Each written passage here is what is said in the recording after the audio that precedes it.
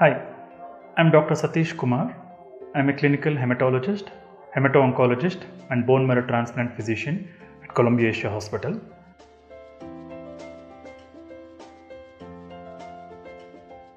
Hematology is the study of blood and blood disorders.